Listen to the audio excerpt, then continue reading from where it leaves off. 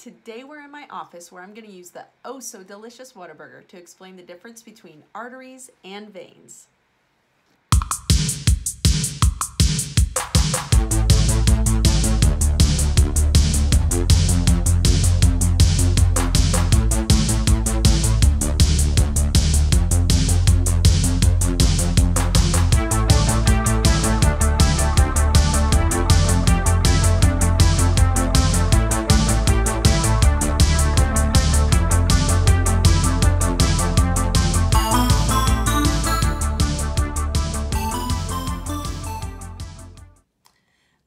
So here we have a vein and an artery. And so remember that veins and arteries are tube-like structures that transport blood throughout the body. And whenever we have a tube-like structure, we'll have a space in the middle. And that space is called the lumen. And that's something I'll draw your attention to here in just a minute. But remember the outer part, which would be the onion ring, is the actual vessel, the inner part, which is the space, is the lumen. I actually also like to use donuts as an example. Um, the lumen in that example would be the donut hole. So let's talk about these colors here um, and what they represent. Each vessel is actually going to be made up of three layers. And this is a pattern we see frequently within the body. We'll have three different layers.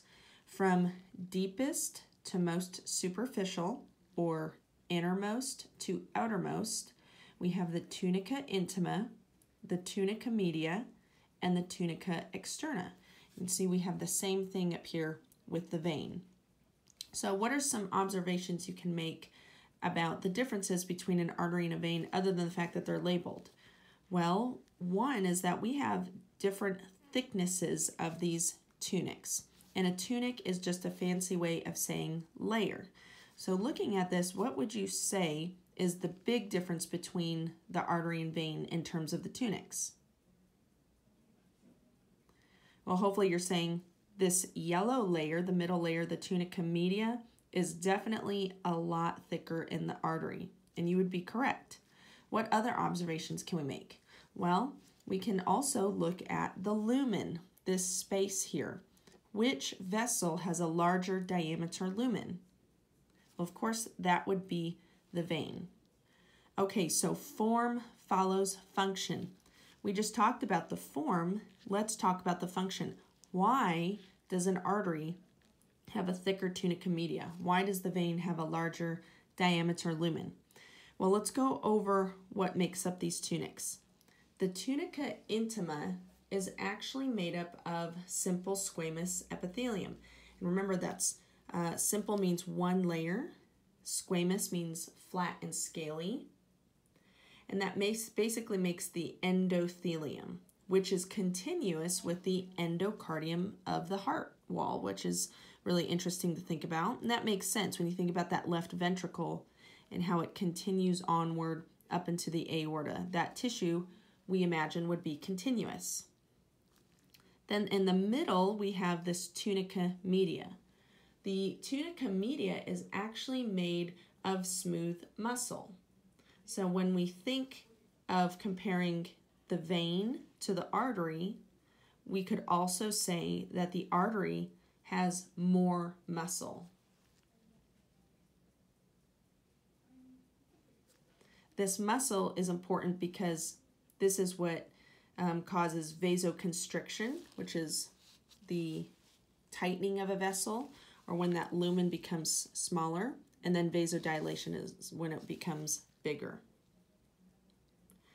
Form follows function. So why does it make sense that um, a systemic artery especially would have a thicker tunica media? Well, let's go back to our knowledge about blood pressure. Which two of these vessels is going to have higher pressure? This artery, because the systemic arteries are delivering oxygenated blood to the rest of the body. So it makes sense then that we would want we would want more muscle to maintain that higher pressure.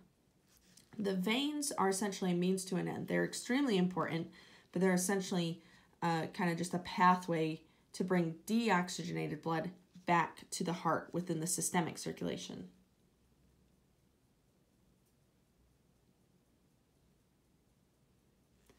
Lastly, we have this tunica externa.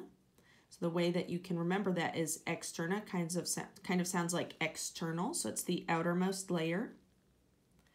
And this is going to have um, some elastic and collagenous fibers.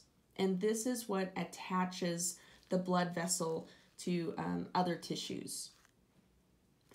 The uh, tunica externa in the vein is actually thicker than the tunica externa in the artery. So when we're talking about thickness and thinness of tunics, it is important that we're very specific because the tunica media in the artery is much thicker than the tunica media in the vein, but the tunica externa in the vein is thicker than the tunica externa in the artery. So why is it important to know the differences between a systemic artery and, a systemic vein? Well, for clinical purposes, sometimes it might be um, beneficial to use ultrasound guidance to establish IV access. And you can use, well, it's not very scientific, but I call it the squish test. Um, and it's when you take the transducer and you literally squish on the patient's skin to see how these vessels react to that pressure. A vein is more likely to collapse because it has a thinner tunica media, whereas an artery is more likely to resist because it has a thicker tunica media and that muscle resists the pressure that's being applied to it. Also, in some arteries, you can actually see a pulse, and we call that pulsatile. So hopefully that gives you a reason to learn the tunics, to understand the differences between an artery and a vein. Thank you so much for checking out this video. Don't forget to hit like, subscribe, and check out my Instagram page at The Anatomy Gal. See you next time.